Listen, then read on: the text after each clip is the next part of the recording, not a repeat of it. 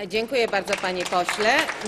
E, teraz udzielam głosu pani posłance Beacie Kępie, aby przedstawiła stanowisko e, Klubu Parlamentarnego Solidarnej Polski. Bardzo proszę, pani Dziękuję posłanko. Pani